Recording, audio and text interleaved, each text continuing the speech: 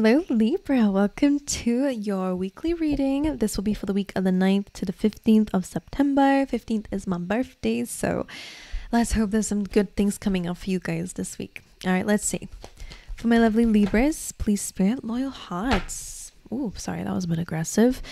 Interesting. You have the um, unfinished symphony, so that's interesting. And it's the same egg could be reconciliation, especially if things were left on a, you know, in an unfinished way.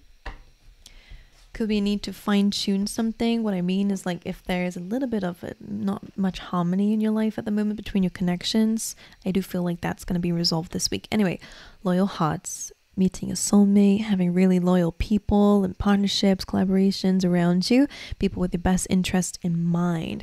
Maybe the unfinished symphony is about you try to do something alone, but maybe now you need a partner and it will actually be better with somebody else. Same if you, you know, have had an argument with somebody, things left on a weird term, um, mis- like disharmony.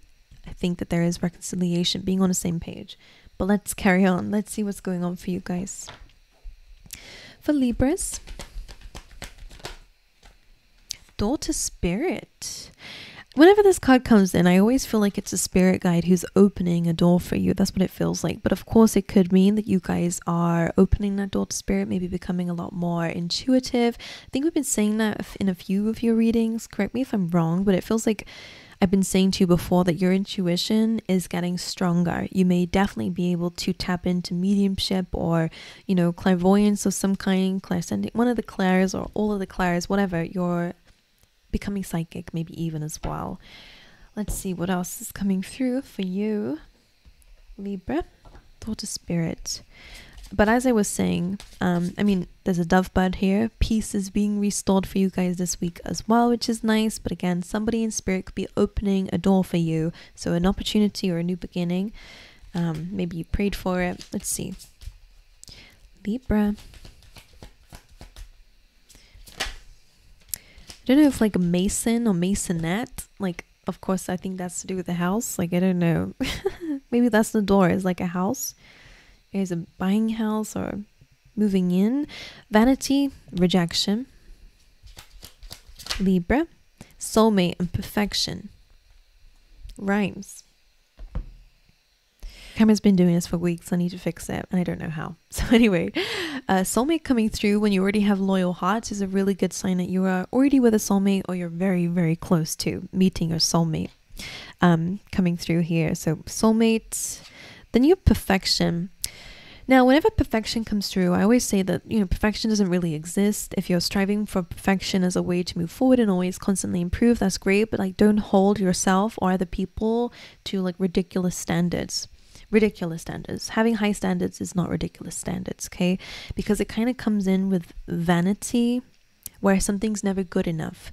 And if you ever feel like that, don't worry, I'm not judging you here. But vanity is just a reminder to be grateful for what you have and to love what it is that you have already and what you've done for yourself already, and then build off of that. Okay. When we come from a place of like, I need more because people will look at me as somebody who's better, you know, who's better, or, you know, I don't know what it is these people want more because it gives them a higher status it's it's vanity their goals are not based on you know what they feel like they desire. They're doing it because of what people will perceive them as. So if you're it's a really good time to make sure that your dreams and goals are because you want those, not because you want someone to see you a certain way, okay? Because then we have rejection, okay? Rejection is a part of life. Rejection teaches us where we may need to improve or where we definitely don't want to go down anyways. So um with with that with vanity when we're doing it because we want to look a certain way or be perceived a certain way, rejection can be rejection can be tough. Um, but when you're doing it because I don't know, you're more connected to spirit, you're in alignment to spirit, where they're trying to get you to go, then you trust and know that rejection, okay, that, that door is closing because I'm it's not for me. So I feel like it might help with your perception of rejection. Okay. Right. Anyway. Hmm. Vanity, rejection, soulmate, perfection. Again, I think you're just redefining what perfection looks like to you and what it really means to you and understanding that things that might already be imperfectly perfect. as much as they can maybe improve, everything can. Um, just make sure that you are happy with what you've got currently as well. Even if it's a small thing, just gratitude helps a lot. Right, anyway, let's see. Let's see what else.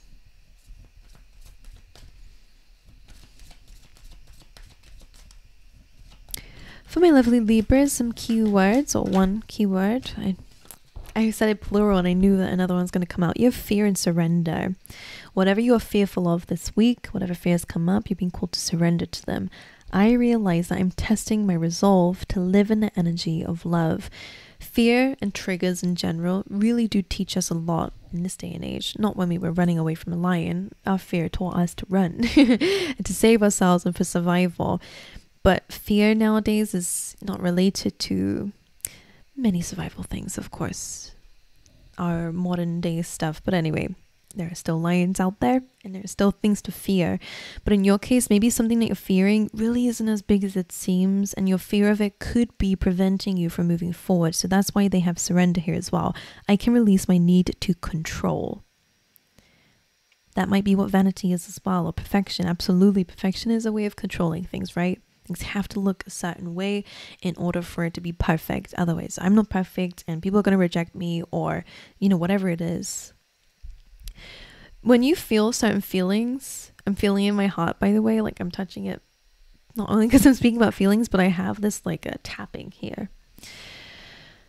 Definitely connect with your feelings, and when a feeling comes up, try to understand what fear this is. Um, this is is it a fear of being rejected? Is it a fear of not being accepted? Um, is it a fear of not being good enough? Like, whatever it is, where is it coming from? And dive deep into what the fear is. Because when you understand it and what it is, you can work on it, right? Awareness is key a lot of the times, but so is action and surrender. But anyway, surrender and fear. Surrender to your fears, understand them.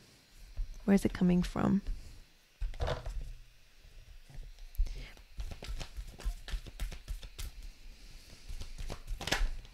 Porcupine Spirit, time for a beginner mind. I want another one. And Stag Spirit, so take the lead.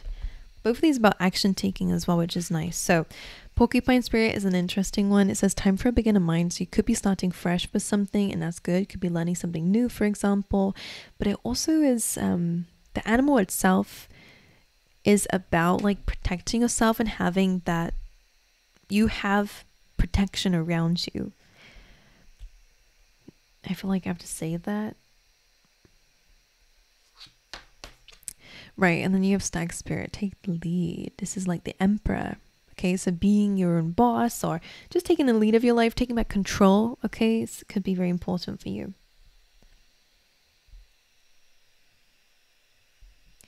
Okay, sorry. Like I'm just sensing other things too, and it's like I was getting a message for somebody, like maybe um, you can teach through example. You know, a lot of times we want to tell someone, okay, this is what you need to do. But, or if you're raising kids, for example, you know, it's like, not that I'm going to give you advice, I don't have any, but it's like uh, the kind of psych- psychology around it is the same with people in general. Like when you shame someone, you're not doing it enough and you're not doing good enough um, or this is how you're supposed to do it. Why are you doing it like that? Like that kind of bring, brings in some shame. It may cause someone to feel fearful about trying it again. Maybe that's what you've been through. Maybe that's why they're bringing it up. So instead of doing that, it's like, hey, actually, have you tried doing it this way? I'm like, kind of like when you do it with kids, like when you lead by example, people will follow. Take the lead, people will follow. So if you're trying to do anything that has impact to others. I don't know why they're bringing that up, but hey, here you go. Right, and time for a beginner mind is kind of like that child too. So you have time for beginner mind and take the lead. They feel like two opposing energies with that analogy. You being the parent and the child. Some of you are breaking generational traumas, by the way, if you are becoming a parent, for example, and you've been through a traumatic childhood, it kind of feels like you're you're learning as you're teaching. Anyway, well, that could be anything, right? Libras, let's see. Three cards, please, for the overall energy for my lovely Libras this week. Queen of Swords, King of Pentacles. You already have a lot of people cards here. And the Ace of Cups. So there is some love here. you're definitely focusing on your love in general in your life. Um, that dove bird is very similar to that door to spirit here. So there's a lot of self love coming through, a lot of focus on your emotions, finding peace, okay, um, which is great, and also finding love. So, Queen of Swords, coming up with the Ace of Cups is challenging because the Queen of Swords is not an emotional card. In fact, she's been through a lot of pain and she is protecting her her heart by completely guarding it. You know, she likes to vet people before they come in.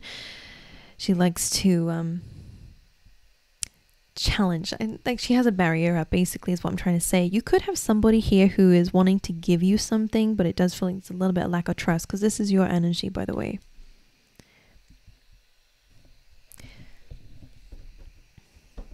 because she's been hurt before, right? And that could be you. You guys may have been hurt before, maybe in financial situations because the King of Pentacles is here.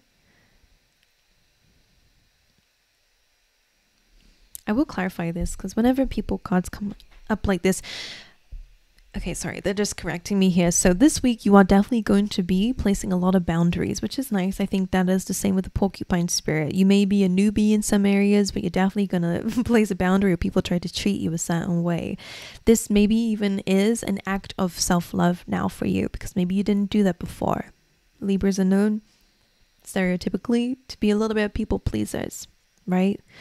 Um, so then you also have the King of Pentacles coming through. So maybe this week you're also focusing a lot on your financial stability, your assets, your material wealth, okay? Your career life, maybe even as well, and becoming grounded in that, okay? Um, I'm hearing putting your foot down, which we can actually say about both of these are both about placing that boundary. Being assertive this week is important, and that aligns with taking the lead, but also focusing on love and a very soft, peaceful energy as well over here. So you have a balance this week. Um, it could also be a financial opportunity coming your way from somebody else as well. But let's see your energy for the week. Three cards for Libra. The Fool. Time for a beginner mind. Makes sense. Starting a new journey, a new cycle. Three of Pentacles, which is very nice underneath the King of Pentacles. So definitely is like a plan or a conversation about, you know, whether it's a conversation about building a plan with someone, collaborating could definitely be the case here for some sort of financial gain, could be a business project, um, any kind of project here that might end up either being towards, you know, financial windfall in the future or just towards like building a home or like having security in your life. More for Libra's energy. Ironic. Justice is here is the Four of Cups underneath the Ace of Cups. What's interesting is Four of Cups has that Ace of Cups in it, right? But he's not paying attention to it. Either that or he's rejecting it because he's like, meh.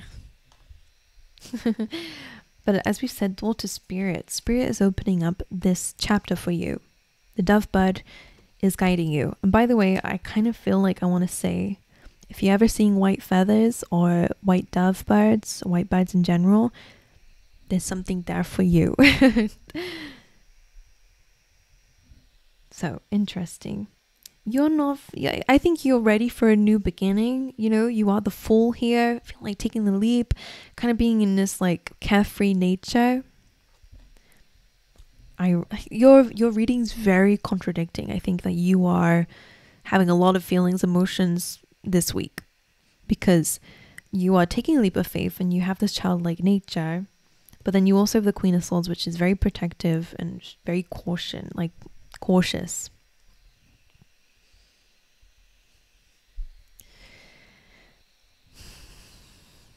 Okay, taking a leap of faith is in your energy, trusting in the universe. Then you have the Three of Pentacles, like we said, so collaboration, getting advice from other people, maybe financial advice, you know, like business advice, whatever it is, um, building something which is amazing. Then you have the Four of Cups and the Justice card. So bringing something into balance here. But I do feel like you might be rejecting something, and we have rejection here. Or maybe you're worried so much about rejection that you would rather reject something first before it rejects you. That could also be what vanity is. That's interesting. Because the Ace of Cups is here. It's a new love. It's new passion. It's it's over. It's unconditional love, right? But you might be rejecting it but it feels like the justice here might not be accepting it. I don't know.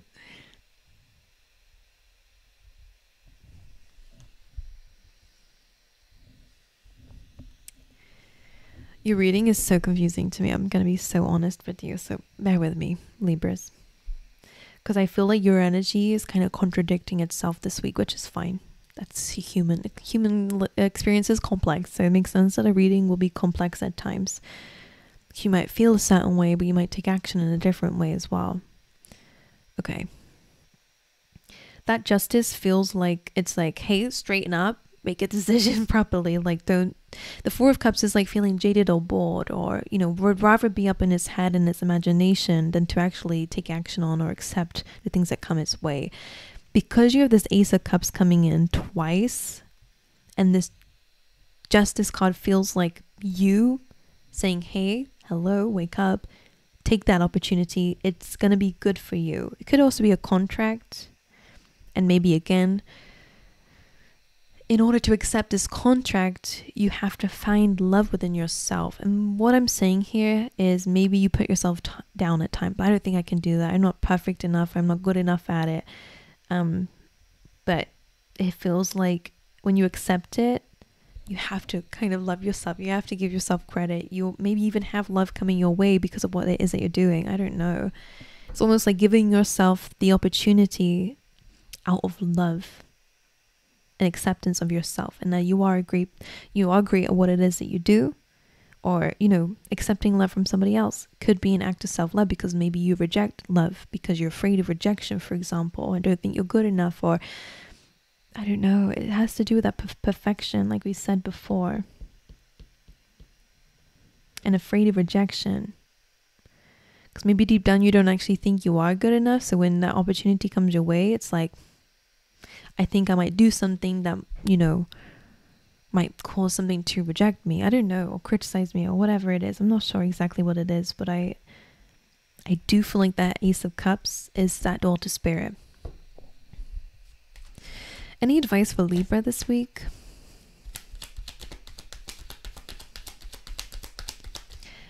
kind of feels like your higher self is actually like helping you, which is why we have that child and a an adult kind of scene. Two of Cups, the Death card, and uh, the Six of Swords. I think this opportunity is about moving forward towards uh, an emotional experience, but one that will lead towards stability. The Six of Swords is moving away from conflict, from drama, from chaos, and is moving towards something much calmer. And it's underneath this Ace of Cups and justice. So, justice will happen for you, but it, you do have to move on first um, maybe take an opportunity or accept love into your life from even yourself in order to find that peace. Maybe it's peace. Two of Cups coming through. Maybe that's why the Queen of Swords is here. And the Fool card, it does look like you're going to be jumping into um, a relationship with somebody if you haven't already. Um, maybe you were a bit cautious at first, but it looks like the, with the Fool card, you're going to trust in the universe. Maybe you've seen a lot of signs, synchronicities about this person that you're like, okay, screw it, let me just dive all into it and not be cautious anymore. And it does look like it's leading towards love or, again, collaboration or um, partnership with somebody. Two Cups is great for any kind of partnership. It's really about you and someone else being on the same page, you feel the same way. It's really good dynamic. King of Pentacles, Three of Pentacles, and a Death card. This feels good in a great way. Nine of Pentacles and the Sun card being here feels like financial freedom. You have the Star card underneath that, and the the Nine of Cups too. So, wish fulfillment is happening there is tra- tra- transformation. Whoa, this transformation. the death card is like major change. No going back from this. So whatever this uh, business project is, or this plan, or stability coming in your life, or financial stuff, whatever it is, you're absolutely going to have a lot of structure and stability and independence in your life, which feels amazing. It's going to change a lot for you, but it's amazing just a little bit of that emotional thing needs to have a little bit of work. But I think it comes down to loving yourself unconditionally. When you love yourself unconditionally, you're not going to hate yourself for the mistakes that you make and criticize yourself and then deny yourself opportunities because you don't think you're good enough for it. That's not unconditional. You cannot, you know, that's just not what it is. So you have to love yourself unconditionally first to believe that other people can love you unconditionally too. Otherwise, you're going to bring that trauma into relationships and feel like somebody doesn't love you even though they do. You know, that kind of thing. Anyway, I don't know. Your reading's a little bit of a mystery for me, but let me know how you think it resonates in your life. Only take what resonates. If it doesn't resonate, then that's fine too. These are general readings, you know, so made for a lot of people. It's an energy, so it may not make sense to you. That's fine. All right. But anyway, I love you guys. I wish you all the best, and I will see you guys next time. All right.